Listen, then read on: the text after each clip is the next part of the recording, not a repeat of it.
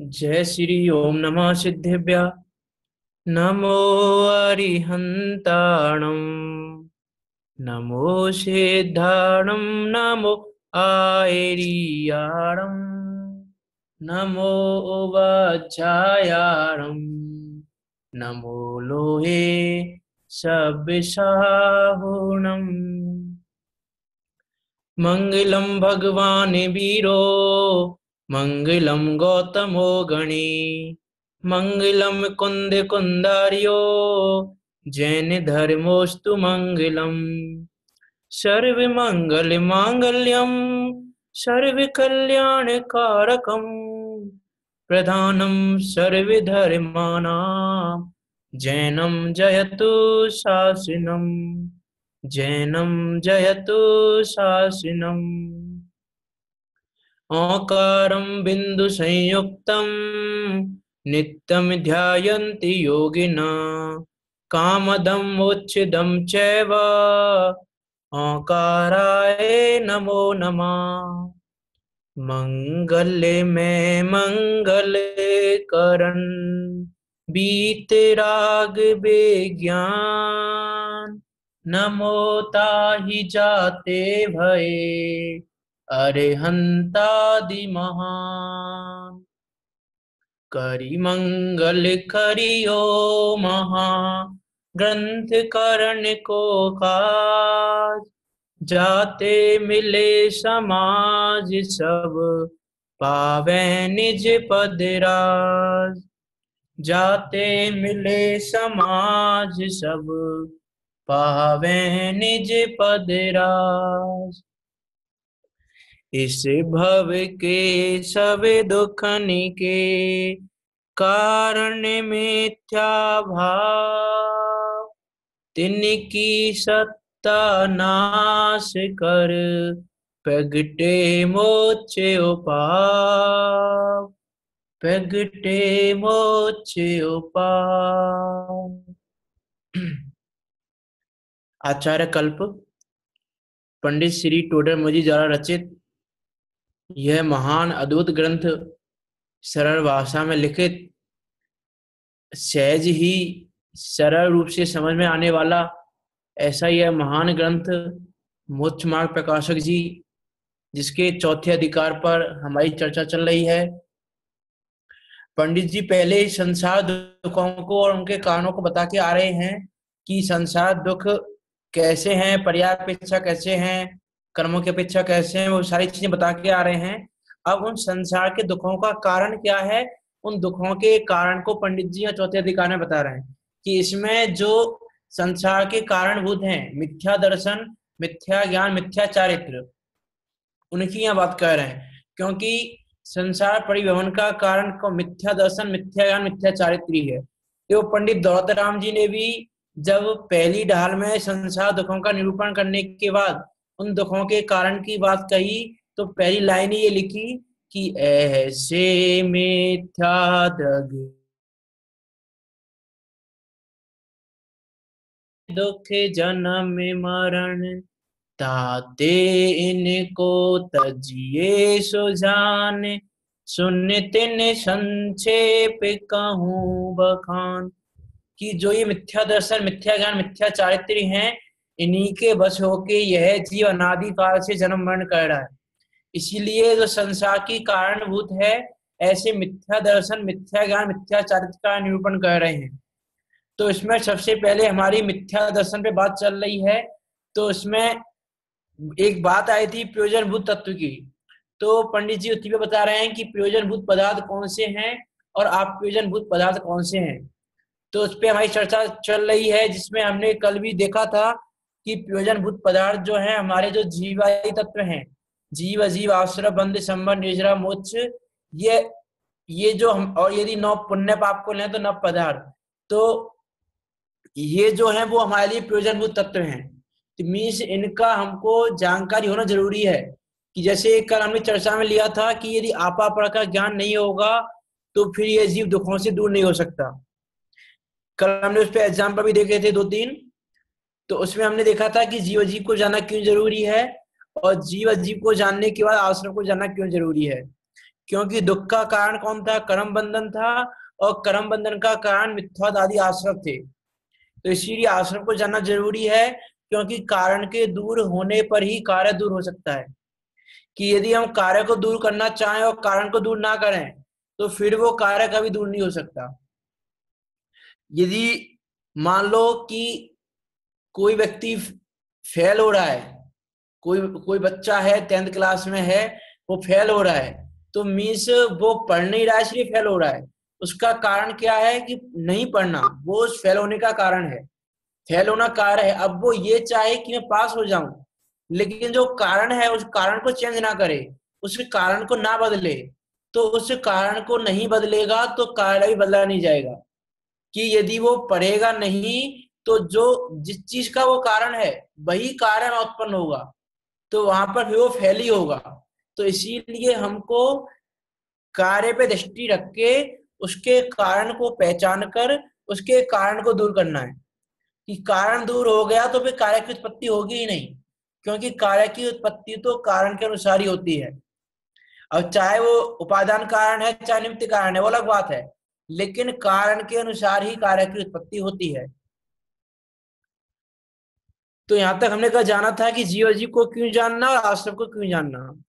उसके बाद नीचे से थर्ड पैराग्राफ है, तथा समस्त दुख का कारण कर्म बंधन है, कि जितने भी दुख हैं, उन दुख के कारण कर्म बंधन ही है। देखो, कल भी यहाँ बात बताई थी कि दुख का कारण कर्म बंधन है, इसका मीनिंग ये नहीं है कि कर्म ही हमको दुखी कर रहा है। यदि कर्म ही हमको दुखी सुखी करे तो तो फिर कोई जीव मुक्त हो ही ना पाए। कि यहाँ पर जो कथन किया जा रहा है, वो कर्मों की अपेक्षा कहा जा रहा है। इसीलिए कहा जा रहा है कि दुख का कारण कर्म बंधन है। कि वास्तव में तो दुख का कारण हमारी स्वयं की तो भूल है। हमारी स्वयं की जो परम है मत बुद्धि है, अहंकार है ममकार है, कर्तत्व बुद्धि है, वो बुद्धि दुख का कारण है। लेकिन कर्म बंधन को कहा जा रहा है कर्मों की अपेक्षा। क्योंकि यहाँ पर हमको उनको दूर करना है। अब जिसको दूर करना है, उसके बारे में बात करनी ही पड़ेगी। उसके बारे में बताना ही पड़ेगा। उसके बारे में नहीं बताएँगे तो उसको दूर कैसे कर पाएँगे? इसलिए यहाँ दुख का कारण कर्म बंधन को बताया जा रहा है। कि समस्त दुख का कारण कर्म बंधन है, यदि उसे ना जाने तो उससे मुक्त होने का उपाय नहीं करे, तब उसके निमित्त से दुखी हो, इसीलिए बंद को जानना। कि यदि हम बंद को नहीं जाने तो बंद को नहीं जानने पर मुक्त होने का उपाय नहीं कर पाएँगे। कि हम यदि बंद को नहीं जानेंगे, हम ये नहीं जानेंगे कि बंधे हुए हैं। यदि कोई जीव ये माने ही ना कि बंधा हुआ हूँ।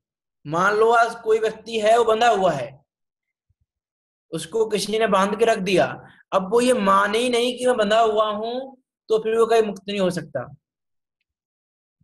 जैसे मीन उसकी जो मान्यता है, उस मान्यता से उसको फ्री होना ही पड़ेगा। कि जैसे एक कहानी आपने सुनी होगी कि जैसे एक व्यक्ति ऊँट की कहानी आती है शायद वो तो ऊंटों को बांधता था कहीं पर तो उन ऊंटों की हैबिट हो गई थी कि हम तो बनते ही हैं, हम तो यहाँ बंधे हुए ही हैं। तो एक दिन एक दिन वो एक ऊँट को बांधना भूल गया तो लेकिन उसके बाद भी वह ऊँट वहाँ से भागा नहीं। और जब बाकी ऊंटों को खोल दिया और वहाँ से ले जाने लगा तो वो ऊँट जाने को तैयार नहीं। क्यों? क्योंकि वो क्या मान के बैठा है कि बंधा हुआ हूँ? मिस जो हमारी जैसी मान्यता है, उस मान्यता से हमको फ्री होना ही पड़ेगा। तो यहाँ पर भी यदि हम ये मांग के बैठ जाए कि हम मुक्त हैं, जबकि हम बंधे हुए हैं और ये मांग के बैठ जाए कि हम तो मुक्त हैं, कि जैसे हम कहें कि हम सिद्ध के समान हैं। देखो, सिद्ध के समान कहने की अपेक्षा अलग है। लेकिन हम सिद्ध के समान कहने की अपेक्षा को यहाँ लगा रहे हैं कि हम तो मुक्त हैं वर्तमान में तो फिर हम कभी मुक्त नहीं हो पाएँगे। कि जैसे वो ऊँट मुक्त होते हुए भी अपने को बंधा हुआ मान रहा था तो मुक्त नहीं हो पा रहा था। तो वैसे ही हम बंधे हुए होने पर भी, उससे जस्ट अपोजिट कि बंधे हुए होने पर भी अपने को मुक्त मानेंगे तो कभी मुक्त नहीं हो पाएँगे। कि जो वर्तमान में हमारी दशा है, हमको उसको जैसा का तैसा जानना पड़ेगा। और जैसा का तैसा जान के, अब हमारे लिए हितकारी क्या है? उस हितकारी बात को प्राप्त करने का उपाय क्या है? उसको प्राप्त करने का कारण क्या है? उसको पहचान के उस उपाय को करेंगे, उस कारण को जानेंगे तो फिर हम मुक्त हो जाएँगे।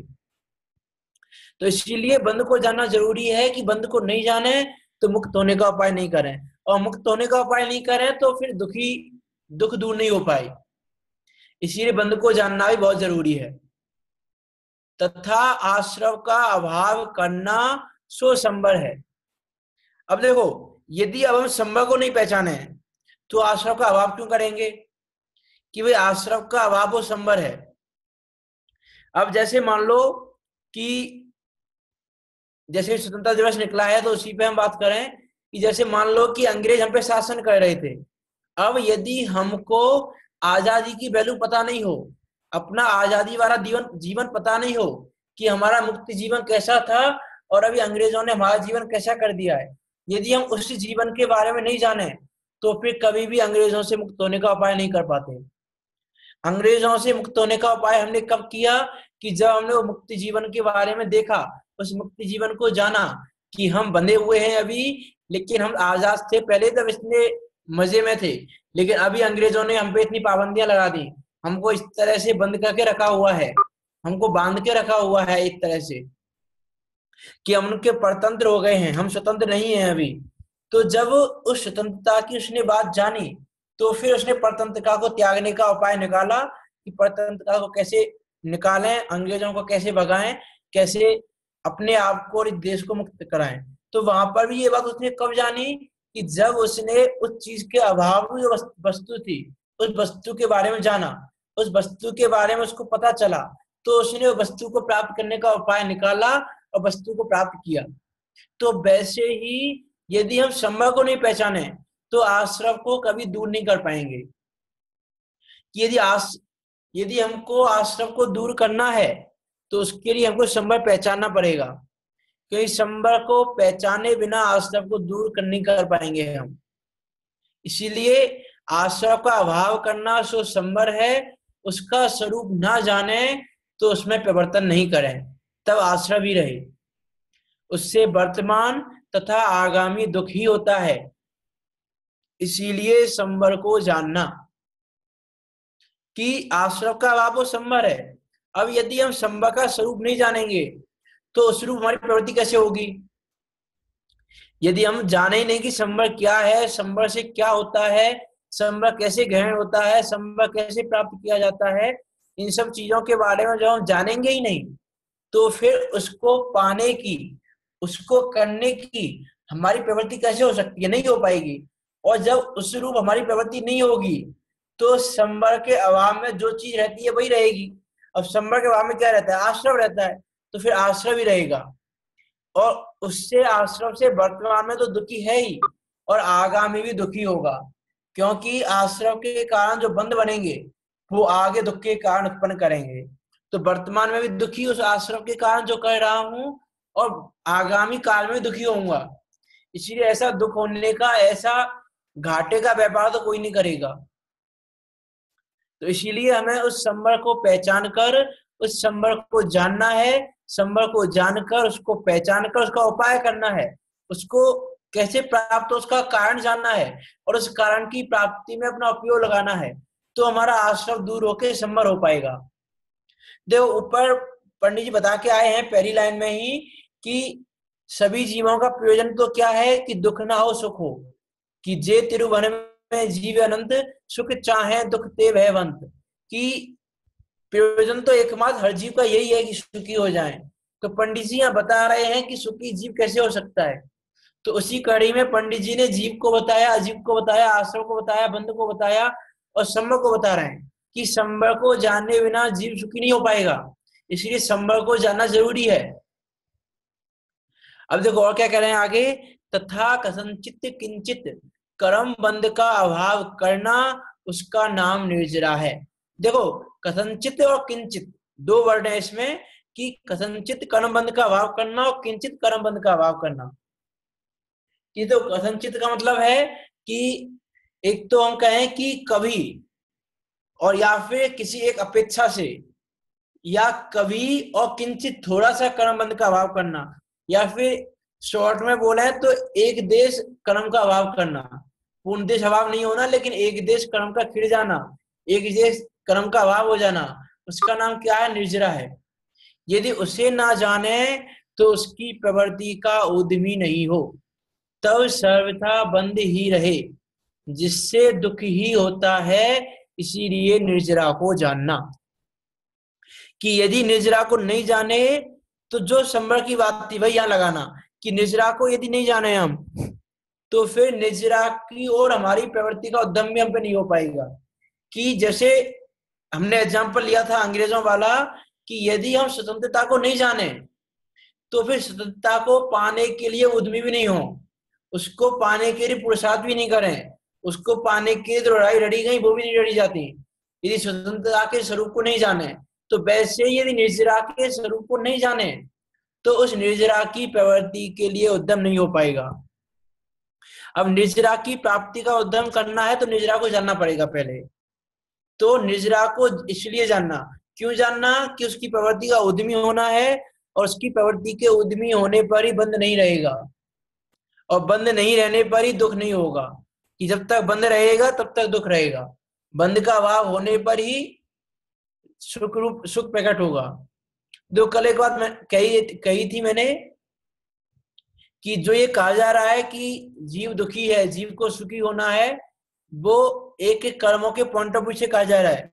लेकिन वास्तव में तो जो जीव का सुख, स्वभाव है, वो तो वर्तमान में भी है। ऐसा नहीं है कि वो कहीं अरियंत अवस्था में, सिद्ध अवस्था में कहीं बाहर से आता हो, कि वही कर्मों के अभाव होने पर सुख होता है, कि कर्म के अभाव होने पर सुख कहीं से आता हो कि नहीं, वो तो एक कर्मों की अपेक्षा कहा जा रहा है, कि वास्तव में तो स्वभाव अभी भी है, लेकिन वो अभी प्रकट रूप नहीं है, वो प्रकट रूप होना और कर्मों का अभाव होना, वो एक निमित्त नैमित्तिक संबंध है, कि जब कर्मों का अभाव होता है, उसी समय वो सुख स्वभाव प्रकट हो जाता है। इसीलिए कहा जाता है कि कर्मों के अभाव से सुख प्रकट होता है।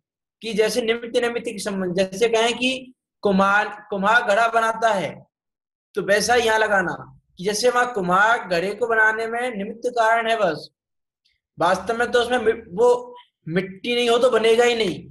तो ऐसे ही कर्मों का अभाव तो निमित्त कारण है। यदि वस्तु में सुख स्वभाव नहीं हो तो सुख प्रकट हो ही नहीं सकता। सुख प्रकट हो रहा है मीन्स वो वस्तु में है, वो वस्तु के स्वभाव में है। कि जैसे पानी को हमने गर्म किया, अब पानी को गर्म किया तो पानी गर्म तो हो गया, लेकिन जैसे ही हमने अग्नि का संयोग हटाया तो वो शीतल रूप हुआ तो क्यों हुआ? जो, क्योंकि उसका स्वभाव था। यदि उसका स्वभाव शीतलता नहीं होता तो फिर वो गर्म ही बना रहता। वो शीतलता शीतल रूप हुआ उसमें वो स्वभाव था, लेकिन जो संयोग थे, जो उसको अपने स्वभाव को प्रकट नहीं होने दे रहे थे, उसके कारण वो गर्म था। देखो इसमें पंडित जी आगे कहेंगे, एक बात आगे आएगी वैसे तो वो अभी काफ़ी, कि यदि हम गर्म पानी को शीतल मान के उसमें हाथ देंगे तो जलना ही होगा। तो वैसे ही यदि हम अभी वर्तमान में संसारी अवस्था है, और यदि हम अपने आप को मुक्त मानकर बैठ जाएँगे कि हम तो मुक्त ही हैं, हमारा तो स्वभाव मुक्त है। हम तो कर्मों से जीव बनता ही नहीं है। कहीं समय साज में आचार्य कुंद कुंदेव ने कहा भी है कि भाई, ये जीव तो बंधा ही नहीं है कभी। है ना, ये जीव बंधा नहीं है, ये जीव करता नहीं है, भुगता नहीं है, सारी बातें कही है। यदि हम उनको किस अपेक्षा से कही है अपेक्षा को नहीं समझे, और अपेक्षा को समझे बिना वर्तमान में अपनी संसारी अवस्था को ही मुक्त मान के बैठ जाएँगे तो फिर संसार में ब्रह्मणा ही होगा। ऐसा पंडित टोटम जी कहेंगे आगे, वो भी विचार आ गया, इसलिए बोल दिया, आगे आएगा वैसे वो। तो इसीलिए निर्जरा को जानना, कि देखो जीव जीव को क्यों जानना, वो बता दिया आश्रय बंद, संबंध निर्जरा को जानना। क्योंकि देखो, बंद को जानना कहीं बंद दुख का कारण है। आश्रव कर्म बंद का कारण है, इसलिए आश्रव को जानना। अब आश्रव के अभाव से क्या प्रकट होता है? संभव इसलिए संभव को जानना। बंद के अभाव से क्या प्रकट होता है? निर्जरा, इसलिए निर्जरा को जानना।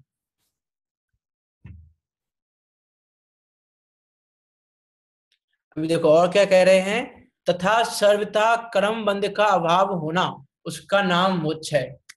कि ऊपर तो एक देश कर्म का कर्म बंद का अभाव हो रहा था, लेकिन अब पूर्ण रूप से सर्वता रूप से सर्व कर्मों का अभाव हो गया। अब कोई कर्म बचा नहीं, घातिया कर्मों का भी अभाव हो गया, अघातिया कर्मों का भी नाश हो गया। अब कोई कर्म नहीं बचा। अब तो जो कर्मों की सत्ता थी, वो पूरी की पूरी सत्ता चली गई। सत्ता जीवित ही नहीं बची कि वो आगे बंद कराए। ना वो आगे बंद कराने वाली है, ना वर्तमान में उदय में आने वाली, कुछ नहीं होने वाला। अब तो सर्वथा पूर्ण रूप से कर्मों का अभाव हो गया। और उस अवस्था का नाम है मोक्ष। यदि उसे नहीं पहचाने तो उसका उपाय नहीं करें। ये कौन टाइप कर रहा है? यदि उसे नहीं पहचाने तो उसका उपाय नहीं करें। क्या नहीं करें कि यदि हम मुझ को नहीं पहचाने? अब जैसे कि वही मोक्ष अवस्था क्या है, कैसी है? उस अवस्था में क्या होता है? उस अवस्था में जीव सुखी कैसे रहता है? उस अवस्था में जीव करता क्या है? यदि इन सब बातों का विचार नहीं करें तो उसको पाने का उपाय भी नहीं करें। कि आज हम अपनी मंजिल बनाते हैं तो कैसे बनाते हैं? आज कोई मान लो, कोई व्यक्ति टेंथ में पढ़ रहा है। अब यदि वो आगे इंजीनियर का डॉक्टर का सीए का, जिस चीज़ का भी, उसको यदि नहीं पहचाने, उसके स्वरूप को नहीं पहचाने तो फिर वो लक्ष्य कभी नहीं बना पाएगा कि मुझे क्या करना है आगे। तो अपना आगे क्या करना है इलेवेंथ से उसको क्या करना है, कैसे करना है, ये करने के लिए उसको वो चीज़ पहचाननी होगी कि जिस चीज़ को वो करना चाह रहा है। फिर उसको पता करना होगा कि यह चीज़ सही है कि नहीं है। अब उसने सुना इंजीनियर। अब इंजीनियर सही है कि नहीं है? इंजीनियर लाइफ में कैसा क्या है? डॉक्टर है तो डॉक्टर की लाइफ में कैसा क्या है? सीए है तो सीए की लाइफ में क्या है? इन सब चीज़ों को यदि वो जानेगा तो फिर वो उसको पाने का उपाय करेगा। अब यदि वो उसको नहीं जानेगा तो उसको पाने का उपाय भी नहीं करेगा। फिर वो कुछ नहीं कर पाएगा। ऐसे ही यदि हम मोक्ष को नहीं पहचाने मोक्ष अवस्था क्या है? कैसी है? वहाँ क्या होता है? इन सब बातों को यदि हम नहीं पहचाने तो उसको पाने का उपाय भी नहीं करें। तब संसार में कर्म बंद से उत्पन्न दुखों को ही सहें कि जो संसार में कर्म रूप, कर्म बंद होने से दुख उत्पन्न हो रहे हैं, उनको ही सहते रहे। उनसे कभी दूरी नहीं हो पाए। इसीलिए मोक्ष को जानना। इस प्रकार जीव आदि सात तत्व जानना। इसलिए जो ये प्रयोजनभूत तत्व हैं जीव आदि सात तत्व, इनको जानना प्रयोजनभूत है, इनको जानना ज़रूरी है। अब देखो, आगे क्या कह रहे हैं कि देखो, यहाँ पे कहा कि सात तत्वों को जानना।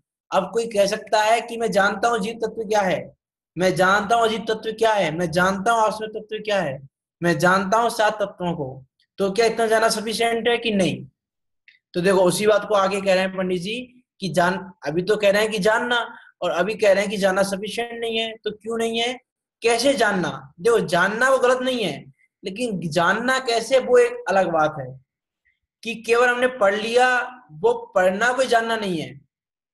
तो देखो, उसी बात को आगे कहेंगे, आगे के पैराग्राफ में। तथा शास्त्र आदि द्वारा कदाचित उन्हें जाने, परंतु ऐसे ही हैं ऐसी प्रतीति न आई तो जानने से क्या हो? कि शास्त्र आदि के द्वारा हमने जान लिया। कदाचित कि थोड़ा बहुत हमने जान लिया कि मैं जीव तत्व हूँ, मुझसे जुदा जो ये शरीर आदि अजीव तत्व हैं, जो कर्मों का आना हो रहा है, कर्म मुझसे चिपक रहे हैं, वो आश्रव के थ्रू चिपक रहे हैं, वो आश्रव है, कर्म मुझसे बंध रहे हैं, कर्म की सत्ता मेरे अंदर बंध रही है, वो बंद है। मेरे कर्म आना रुक रहे हैं, वो संबर है। कर्मों की अभाव एक देश अभाव होना निर्जरा है। कर्मों का पूर्ण अभाव होना मोक्ष है। ये सब बातें जान ली। परंतु ऐसे ही हैं कि जैसे मैंने मान लिया कि मैं जीव तत्व हूँ, ये शरीर आदि अजीब तत्व हैं, ये जान तो मैंने लिया, लेकिन प्रतीति में ऐसा आना चाहिए कि ऐसे ही हैं।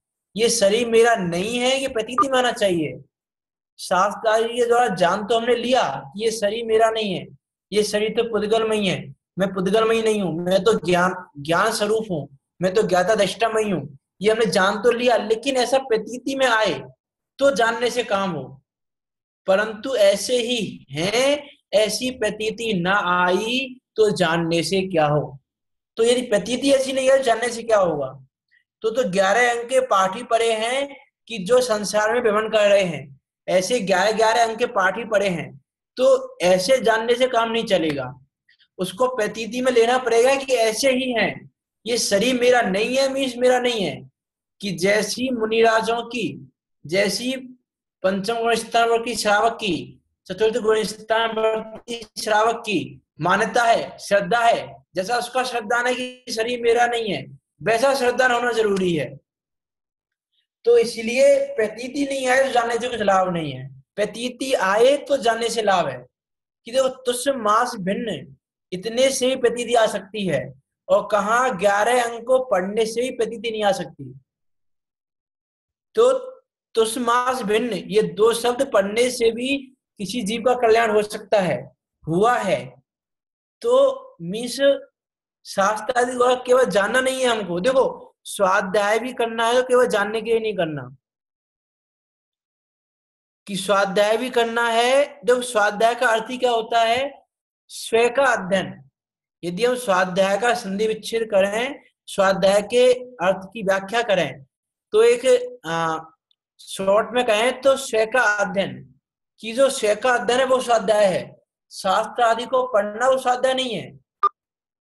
लेकिन देखो, ऐसा मांग के ऐसा नहीं करना है कि हम पढ़ेंगे ही नहीं।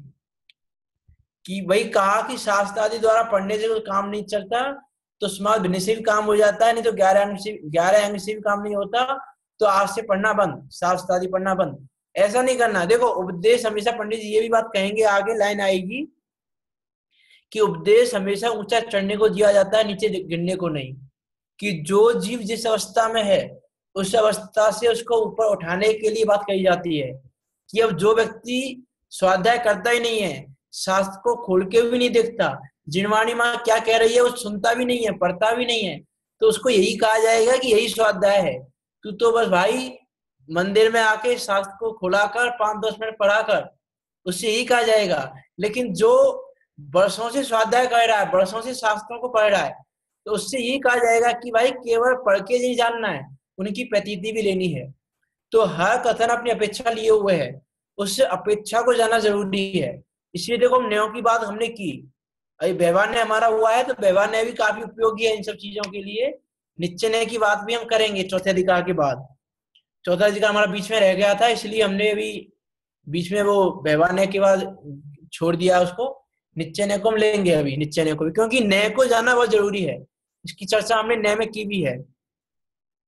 तो इसलिए ऐसा नहीं सोचना कि वह शास्त्र आदि पढ़ना बंद।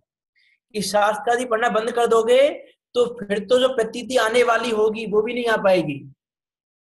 इसलिए साथ साथ ही तो पढ़ना, लेकिन उतने में ही संतुष्ट मत रहना कि संतुष्ट नहीं होना है उतने में हमको, उसके भी आगे बढ़ना है। तो शास्त्र आदि द्वारा कदाचित उन्हें जाने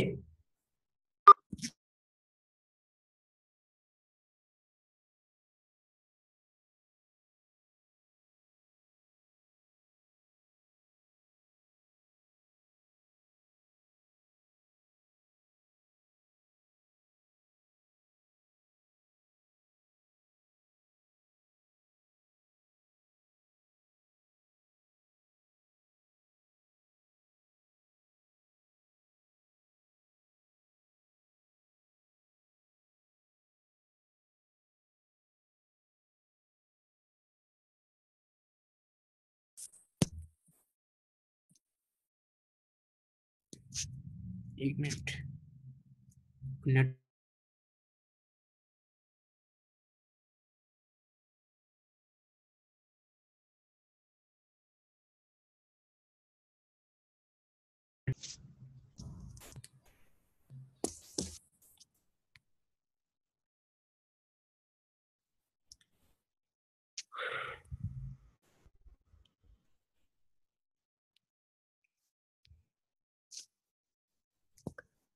इसलिए उनका श्रद्धान कार्यकारी है। ऐसे जीव आदि तत्वों का सत्य श्रद्धान करने पर ही दुख होने का अभाव रूप प्रयोजन की सिद्धि होती है। इसीलिए जीवाधिक पदार्थ हैं, वे ही प्रयोजन भूत जानना। तो यहाँ यहाँ तक किसी बात कही प्रयोजन भूत की। देखो, दो और हैं आगे, उनकी और बात कर लेते हैं, फिर प्रयोजन भूत की बात पर करेंगे। तथा इनके भेद, पुण्य पाप आदि रूप हैं, उनका भी श्रद्धान प्रयोजन भूत है। कि जो आश्रव के भेद हैं, पुण्य पाप आदि रूप, उनका भी श्रद्धान प्रयोजन भूत है, क्योंकि सामान्य से विशेष बलवान है। इस प्रकार ये पदार्थ तो प्रयोजन भूत हैं। देखो, सामान्य से विशेष बलवान है मीन्स क्या? कि हमने ऊपर ये जान लिया आश्रव क्या है। लेकिन वो आश्रव को एक सामान्य पंडित कथन कहा और अब आश्रम के भी हमने भेद कर दिए। एक पुण्य आश्रम रूप, एक पाप आश्रम रूप। तो उसको जब हम और विशेष जानेंगे तो हमें उसके बारे में विशेष जानकारी मिलेगी तो विशेष रूप से उसको छोड़ पाएँगे। इसीलिए सामान्य से विशेष बलवान है। इस प्रकार ये पदार्थ तो प्रयोजन भूत हैं, इसीलिए इनका यथार्थ श्रद्धान करने पर तो दुख नहीं होता, सुख होता है। कि यदि इनका यथार्थ श्रद्धान करने तो यथार्थ श्रद्धान करने पर दुख नहीं होता, सुखी होता है। और इनका यथार्थ श्रद्धान किए बिना दुख होता है, सुख नहीं होता। अब तुम्हारा क्या प्रयोजन है वो तुम देखो। यदि तुम दुखी रहना चाहते हो तो यथार्थ श्रद्धान मत करो, कोई प्रॉब्लम नहीं है। और सुखी होना चाहते हो तो यथार्थ श्रद्धान करना ही पड़ेगा। यथार्थ श्रद्धान किए बिना दुख दूर नहीं हो सकता। इसीलिए ये प्रयोजन भूत हैं। इनके यथार्थ श्रद्धान से ही अपने प्रयोजन की सिद्धि होती है। और अपना प्रयोजन क्या है? सुखी होना। तो उस प्रयोजन की सिद्धि जीव आदि सात तत्वों के यथा श्रद्धांत से ही होती है, इसलिए यही प्रयोजनभूत तत्व है। तो अप्रयोजनभूत तत्व क्या है? क्यों कहे गए हैं? उन सब बातों की हम कल बात करेंगे। अभी यहाँ तक किसी को कोई शंका हो तो पूछ लें। जिनवाणी स्तुति करते हैं। हे जिनवाणी भारती तो जपू दिन रैन, जो तेरी शरणा गहे सो पावे सुख चैन। जावाणी के ज्ञान से सूचे लोका लोक शोबाणी मस्तक नमो, सदा देते हो ढो शोबानी मस्तक नमो, सदा देते हो ढो जिनवाणी माता की जय। महान जैन धर्म की जय। पंच पमिष्टि के स्मरण पूर्वक नवा नव का मंत्र का जाप करते हुए नव नव का मंत्र का जाप करेंगे।